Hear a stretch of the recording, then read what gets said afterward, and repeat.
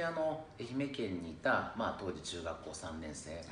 ちょっと荒削りなんだけど面白い原石青木原石がいて、それはあの東京エスペリオンというユースの強い名門のサッカーチーム J1 クラブがありまして、まあ、J1 をモデルにしたクラブがあって、はい。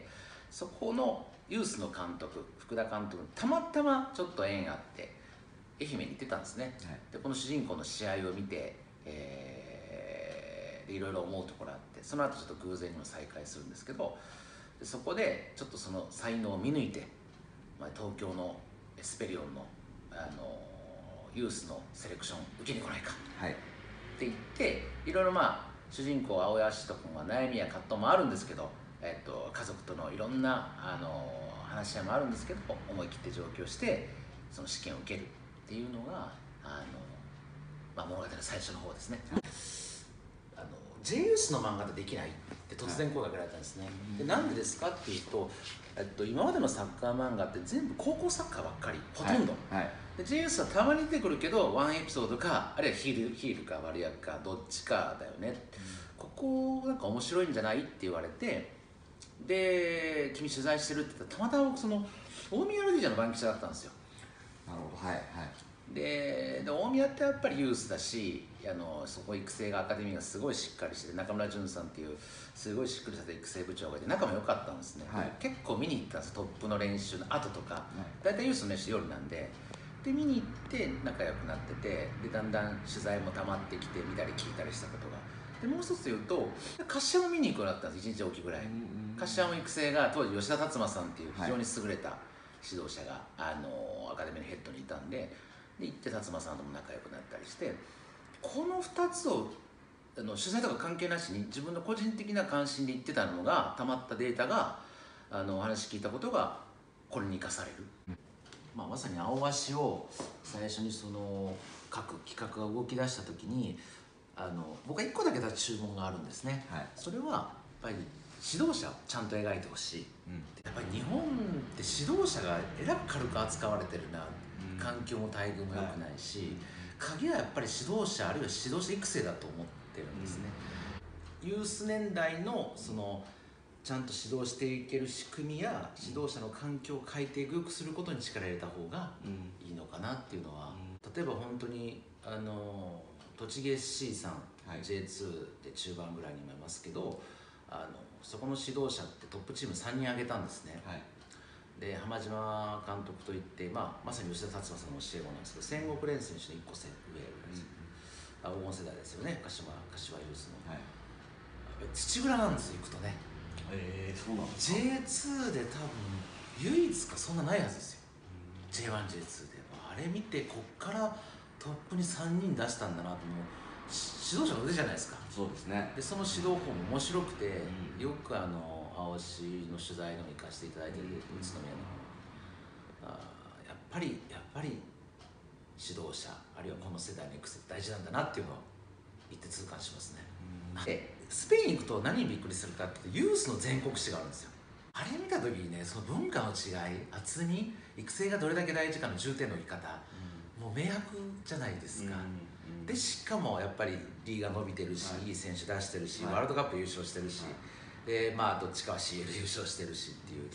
あれ見てるとまああそこまで行くのはね何十年とかかるんでしょうけど一つベンチマークにしても一つの何か資本にしてもいいんじゃないあのままでは日本には持ってこれないですけど、あれにしちゃダメですけどやっぱりそれぐらい指導者の数もあの競技人口あたりも多いし、ちょっとスペインはいろんな意味で参考になる。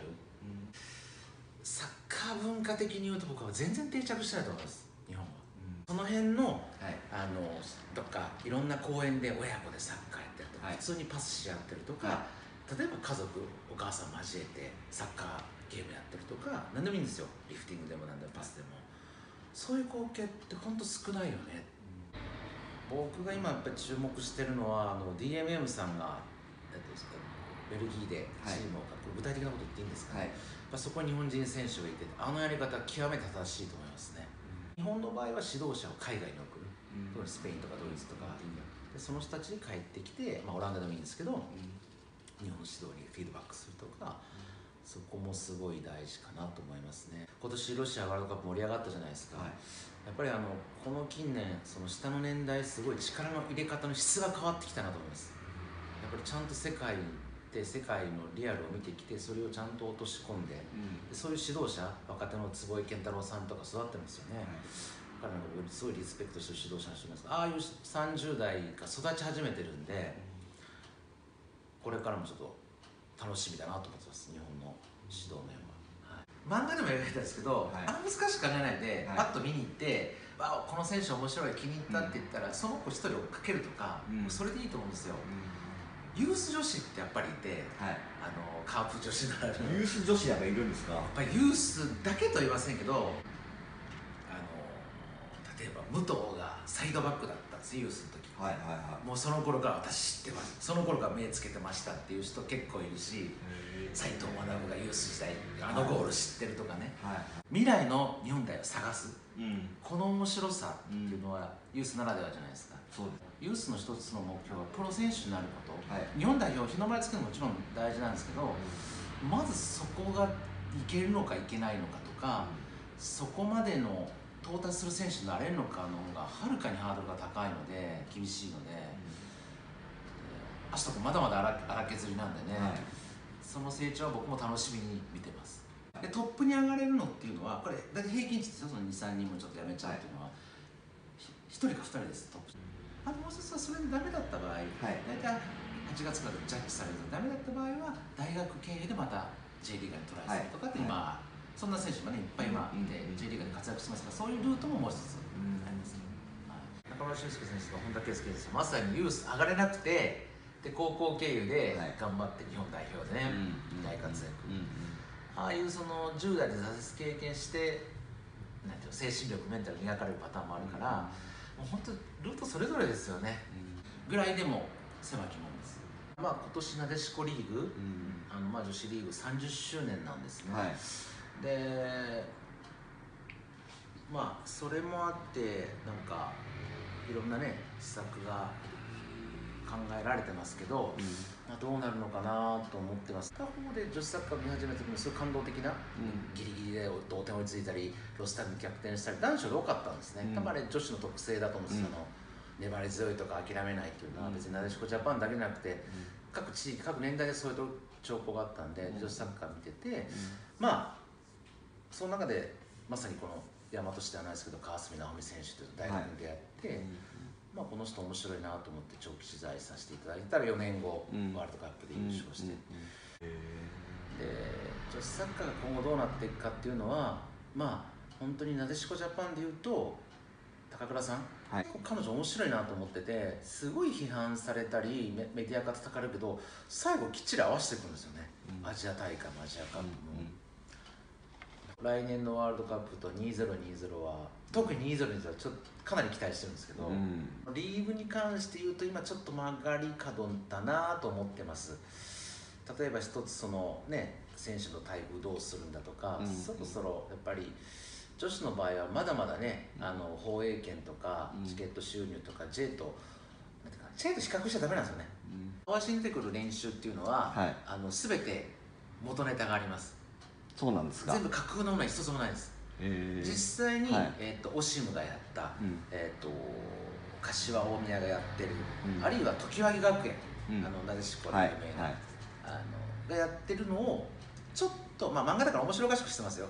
デフォルメしてアレンジしてるんですけど全部元ネタがあってその中に常盤木学園も入ってますこんなうん。どことは言いませんけど。だからなでしこの育成は大変参考になってます、いずれにしても僕はやっぱり中学生年代の育成っていうのは男女とも鍵かなと思っています。はい。やっぱり佐々木則夫さん偉かったのが男子の指導を当てはめなかったですよね。うん。多分途中途中で変えたと思うんですよ。これは無理だと思って、うんうん。女子の指導に変えましたよね。その接し方やコミュニケーションを含めて、うん。あれわざとだと思うんですよ。うん。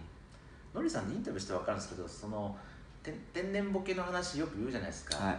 全然ものすごい緻密な人ですよ。うん。だから、まあ、そういうのを含めてもやっぱり女子は女子のメソッドを時間かかっても構築していかないと別にバルセロナの真似事やったわけでもないし、なんか男子の真似事やったわけでもなくて世界一になったわけですから、不思議な話でワールドカップだけを見るとワールドカップ至上主義はダメだと思いますけど、あれだけ結果見ると日本開催以外でベスト16行った時で全部日本人なんですよね。そうですね。なんかなんでそこに注目してくれないのかなっていうのを、うん。結構あのロシアの前で言ったんですよ、うん。結構非難されて、はい。なんかこのチーム結構いけるんじゃないとかって言ってたら、うんどこ見てるんだみたいなことを言われて。でも西野さんは全然ややらかしてくれるんじゃないかなと思ってたんで、うん僕はうんだから日本人監督は結構賛成派でしたね。結構2020やってくれるんじゃないかなって。うんめっちゃ期待してます、ちょっと3つ目があって、はい。まあなでしこワールドカップ優勝したんでまあなでしこの金メダルと。はい。男子ワールドカップで優勝する。うん。これ生で見る。はい。ことあの実現してもらって勝つ生でもう一つ3つ目があってウェハーチャンピオンズリーグで優勝するチームの監督が日本人。レアル・マドリードを率いてる日本人。バルセロナを率いてる日本人、はい。うん。でこれ多分実現しようと思ったら逆算したらもう633制から全部変えないと無理かなと思う教育制度から変えないと、考えないですよね日本人ってね。考える習慣が身についてないですよね。で例えば義務教育小6ぐらいまでにしてうん。でもそうしても日本人ってやっぱり中高行くんですよ、はい。中学進学する大半は高校行くし大学行くんです。でも考えるじゃないですか。おお前ち小学校卒業したらどうする？っていう、うん。いや俺中学いや俺職人になる、うん。俺美容室入る考えるし親と話し合うし子供として議論するじゃないですか、うん。その習慣が10歳11歳に大事だなでところが親は親やコーチは考えるサッカーしましょう。んうん。う無理ですよね。うん。